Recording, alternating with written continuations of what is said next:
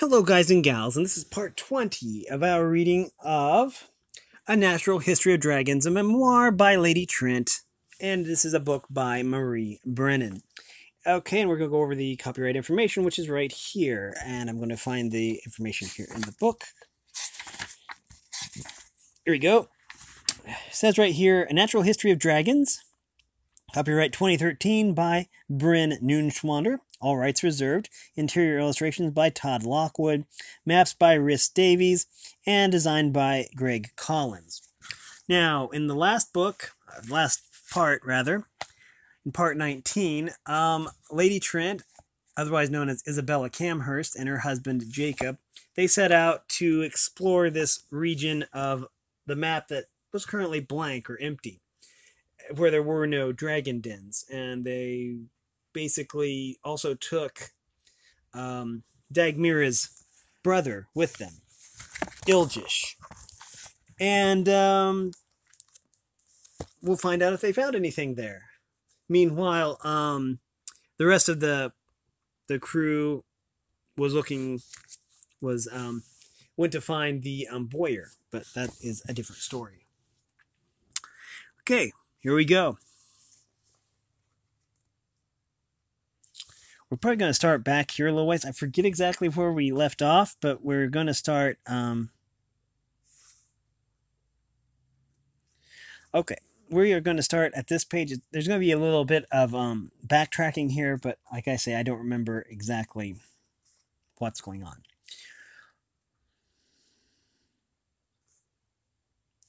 The next day, we began our exp- exploration.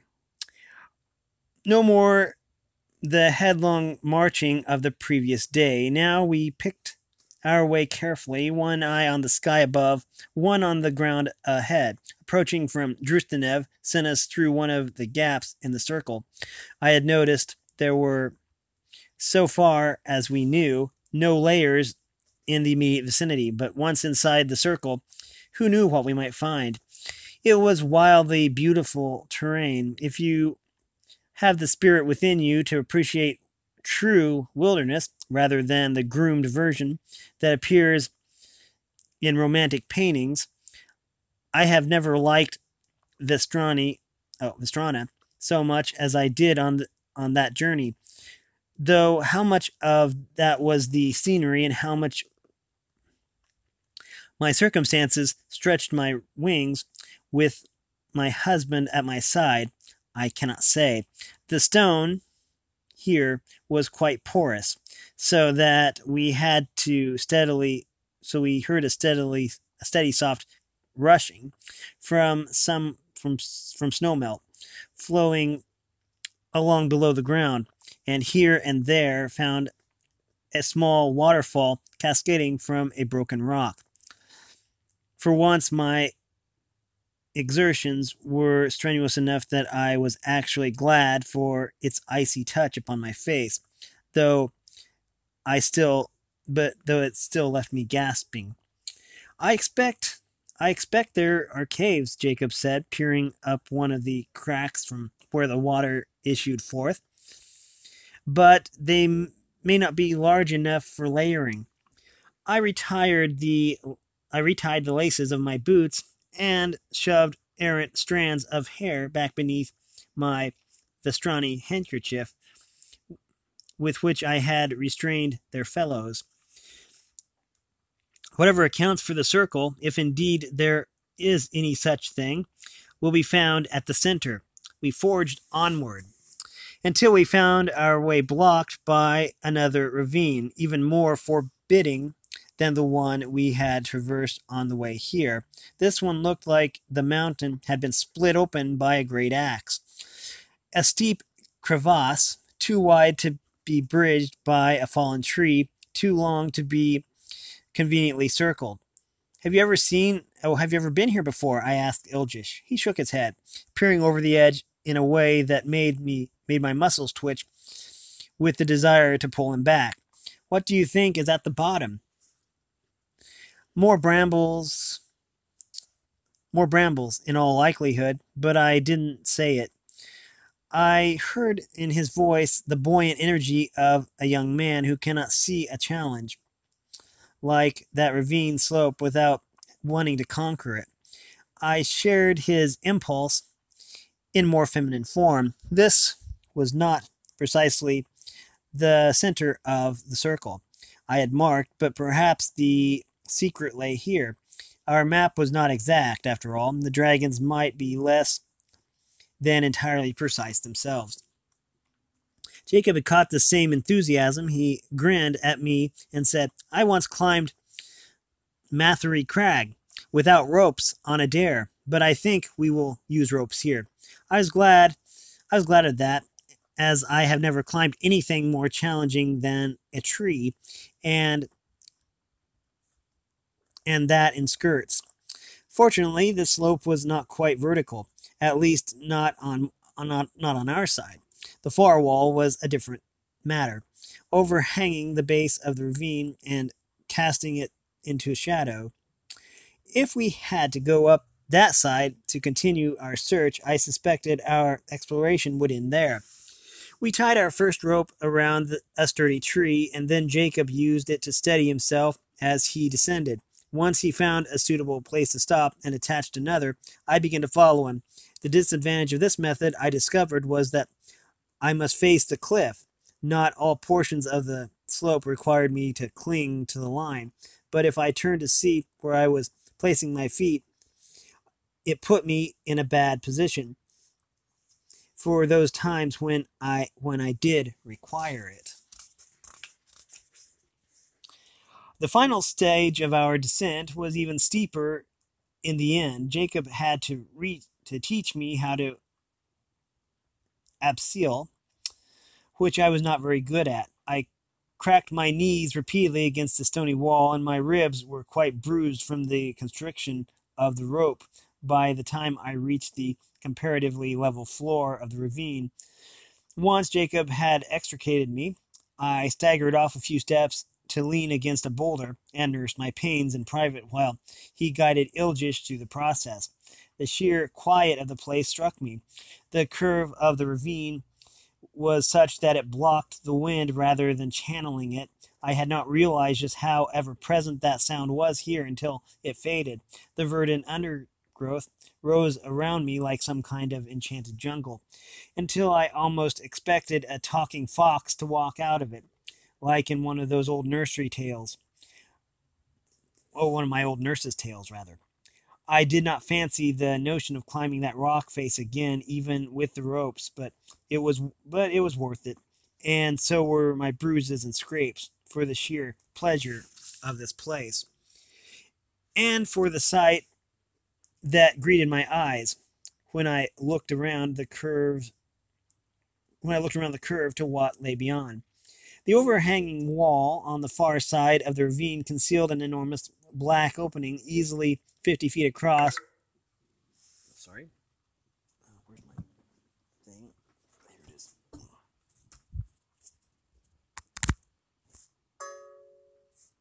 Oh, yeah, we're running low on power. Sorry about that.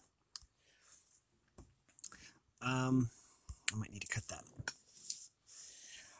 As for and for the site that greeted my eyes when I looked around the curve to what lay beyond. The overhanging wall on the far side of the ravine concealed an enormous black opening easily 50 feet across, and deep enough that I could see nothing of what lay inside. A cave, most definitely, and far larger than any we had seen used as a lair but I remembered my half serious comment about a queen dragon, and my mouth went very dry. Isabella, Jacob called out. I nearly jumped from my skin. Swiftly I turned to wave at him, both to show him where I'd gone and to silence him. He frowned in puzzlement at my urgent gesture, but did not argue. Moving as quietly as he could across the rough ground, he joined me while Ilgish unwrapped himself from the rope. What is Jacob began. He never finished the question. He, his gaze fell upon the cave opening, just as mine had, and I suspected I had ga- gaped in much the same way. I have, I haven't seen anything moving, I said in a murmur, and went on and went no further. That went no further than us. Jacob shook his head. No, you wouldn't. They are crepuscular hunters, after all. At this time of day, any rockworm would be sleeping in the sun, any healthy one at least, but they prefer their layers far smaller. To be precise, they prefer their layers a bit bigger than themselves. You haven't seen anything that large in the sky, have you? Of course not. He and Mr. Wilker would have fallen over their own feet to come tell us, Jacob frowned. Uh, Jacob frowned. I don't see how anything that large could fly. Granted, we don't understand very well how it works. Even even with the dragons we've seen, we don't know enough about their anatomy yet, but surely there must be a limit. A limit to what? It took some comfort from the fact oh, I took some comfort from the fact that Jacob too leapt a foot in the air at Ilgish's question. The boy was far quieter across the ground than either of us, but spoke far more loudly. He looked taken aback, and then I frantically hushed him. Nobody's ever seen a dragon that large, he said, in a lower tone, once we had explained. Not outside of stories. Stories like those about Zagrit Mott. I was not going to calculate what that creature's wingspan might be might supposedly have been. He was associated with the ruins anyways, not with this cave. Assuming Dagmira was correct, Jacob straightened, looking back to where he dropped the supplies we brought down with us. Well, now, well, now would be the safest time to explore. We gain nothing by delaying. Thinking back, I suspected, I suspect him of a degree of bravado, not wanting to show fear in front of his wife. It was the salutary effort of inducing a similar bravado in me, though which may not have been what he intended. I couldn't agree more. Do we have torches of any kind in that pack? Bravado or not, we approached the cave carefully, skulking along the base of the overhanging wall until we reached the mouth. There we paused, all three of us listening mightily for any any sounds within. The only things we heard were the, the steadily drip of water and the echoing silence of empty space. Jacob went first, followed by Ilgish, both of them gripping um, rifles tight. I remained outside for the moment, an unlit torch in hand. They kept close to the wall, not wanting to silhouette themselves against the brightness outside. The ground sloped down before them, and I realized what had seemed like oh, I realized what had seemed like a low ceiling, um, serrated by stalactites, like a dragon's maw, an image I could not shake. Was nothing of the sort. The cave broke through to open air near its top, and the men were now descending toward the depths. Down, down they went, Jacob drawing ahead of Ilgish farther and farther until I could scarcely make him out at all in the darkness. Then he moved, and a moment later Ilgis turned to beckon me. Jacob had seen nothing, heard nothing. We could risk we could risk light. I struck a match and lit the torch. We had lanterns too, but those would not make the slightest difference in this enormous black void. Even the blazing light of the torch created only a small island of light bobbing nervously around me as I picked my way down to join the men. Stay back, uh, stay behind me, Isabella, Jacob murmured, to not turning.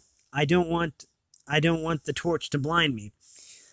In case he had to shoot something. But the cave had a dead dead feeling about it. The subconscious mind hears breathing tiny movements, all the little sounds of life. And there and here we heard none. Nor, as we began to examine our surroundings, did we see any of the castings or marks we associated with dragon lay with dragon's lair. The stone all about us had formed into queer shapes, stalactites and stalagmites and things I didn't have names for, flowing sheets of stone, I would not have believed until I saw them for myself.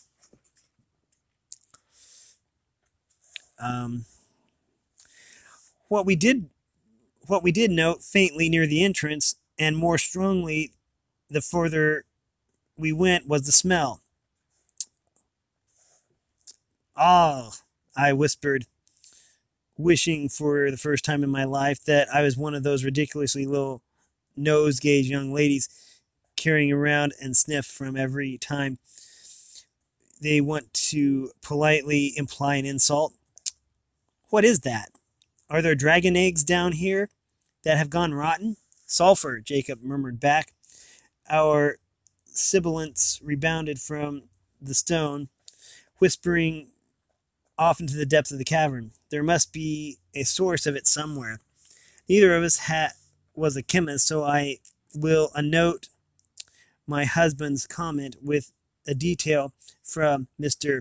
Pegshaw's excellent ge- geographical treatise, Method of Cavern Formation in a Variety of Environments, which we became quite relevant later.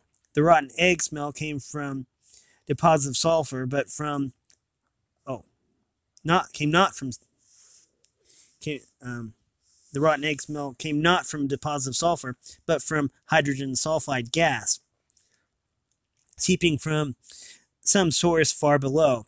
We were fortunate in the extreme that its concentration was not high enough to pose an incendiary risk, and that we did not go deep enough into the cavern to encounter the stronger pockets. When this gas meets water, it forms sulfuric acid, which creates which created the cave system, whose topmost chamber we were now exploring. The Drustanev caverns, as they are now called, have been the object of mapping efforts by later spe- and as I understand it, their more accessible parts have, be- have become something of a tourist attraction in recent years but the full extent of the system is still unknown, and the mighty void we had in had entered is off limits to all. We certainly felt like trespassers, but as the floor leveled out for a time, Jacob ventured outward from the wall. We had no fear of becoming lost, not not so long as we could see the pale oval of the cavern mouth at the top of the slope. And before we had gone very far at all, we found something entirely unexpected. I thought at first it was another rock formation, the light glistening off it oddly, though, and though, and I recognized first with curious surprise, then with an unpleasant jolt, that it was a pile of, of rotting meat, a pile in which limbs could be discerned. To be precise, the hind leg of a dragon. Had the sulfur stench not obliterated the the competing smell, I suggest I would have felt very very ill. As it was, as it was, my thoughts kept instead to my original, nearly discarded hypothesis that this was in fact the layer of a mighty rockworm. And furthermore, one that ate its own kind. That that, not the rot, was the that was turning my stomach. Ilgis was morbidly fascinated going forward to inspect it. Jacob turned quite in incautiously to start to stare straight at me and to touch. Oh, and and the torch. Isabella, he said. My own logic had followed the same trail. The leg was not being eaten. Oh, the leg had not been eaten. It had been dropped there, perhaps in rather battered condition to begin with, and then left. I could not guess at rates of decay, not in this environment, where even flies would not come. But I only knew of two rockworms that had died so recently, and one of them I had examined in, in quite a bit of detail before the body had vanished. This was, I was certain, the hind leg of our missing dragon. Not, nor was I alone. Farther up, we discovered what I could only surmise was the remaining pieces of the beast. Thought by thought by then okay.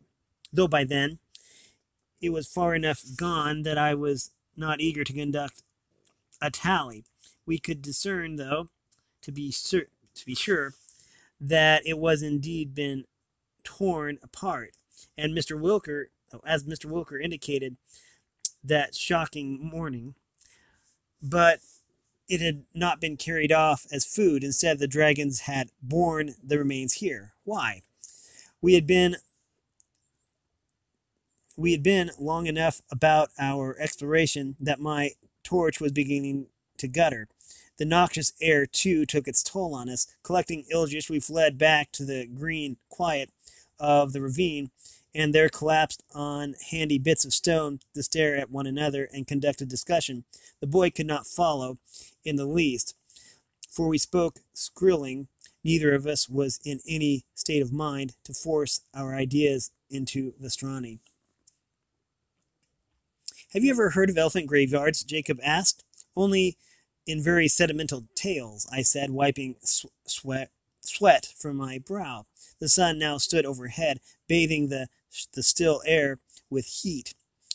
But I could not say with honesty that was the cause of my perspiration. I thought them a cloying notion invented for children. Jacob rinsed his mouth with water and spat into the underbrush, trying to clear away the sulfuric tinge. They may or may not be real. Hilford would know. But dragon graveyards? No one has ever speculated as, as to those. Um, we don't know it is a graveyard, I pointed out. One burial or deposition, or whatever I should call it, is not a pattern. But if there were others, they will have disintegrated by now. Because I am a particular a, a practical woman, the thought did cross my mind that we could test the graveyard theory by killing another dragon and seeing if its fellows carried him off in the same way. But although I am not above shooting creatures for science, I balked at doing it so callously to answer only a single question. Indeed, I was rather less sanguine about having done it at all. Now that I faced the notion of dragons actually carting what, or caring what happened to their brethren, it seemed such a peculiar, peculiarity, a, a oh, peculiarly human thing to do. Something that sets us apart from the beasts if they mourned their own kind. At least we no longer feared the return of a hyper, hypothetical queen dragon, though we kept one more eye out in case dragons of ordinary size were to visit the ravine. Indeed, I found myself wondering if the reason our dead beast had been torn to bits was because he was otherwise too heavy for his fellows to carry here. Without a tame dragon to try with different loads, I couldn't be certain. Or perhaps if we observed one in the act of carrying off a bear, I dragged my thoughts back to the present question. Was this an aberrant aberration or a pattern? Okay, let me um, we have a picture here. I'm going to take a picture here.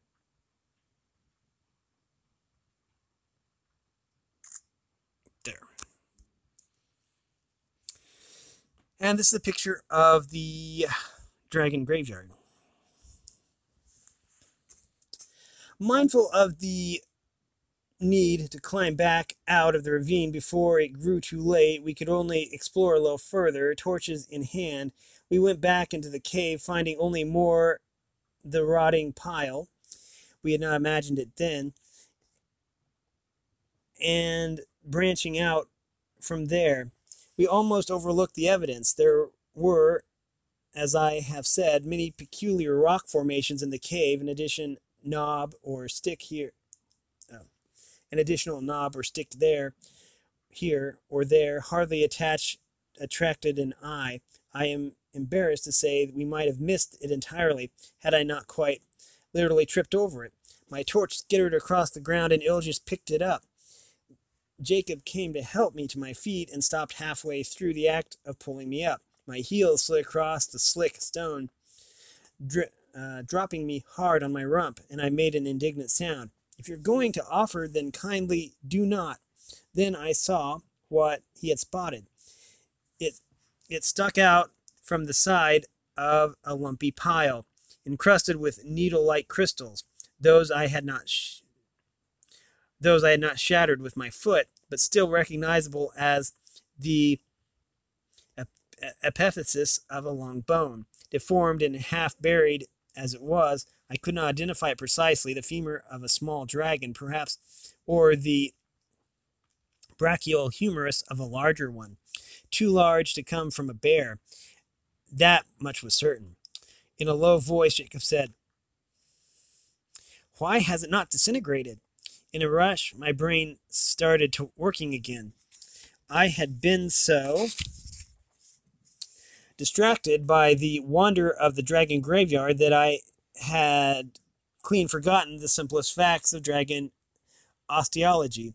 Their bones did not survive long, uh, did not long survive their deaths. Even the one we had hunted should have long since de- deteriorated to the point of collapsing under its own weight. This one had clearly been here long enough for stone to form around it. By now, uh, by now it should have been dust. We have to stop it here for now, but we have been reading from, give me a sec here. We've been reading from A Natural History of Dragons, the wait, let me put the bookmark back in. I don't want to be forgetting that. Um, a Natural History of Dragons, a memoir by Lady Trent, is a book by Marie Brennan. If you like this con- content, then make sure you like and subscribe and ring the bell so you know when I upload. Also, if you want to support me in any way, or if you want to join the Discord server, all that information will be in the description below. As always, thanks for watching, everyone, and have a great day.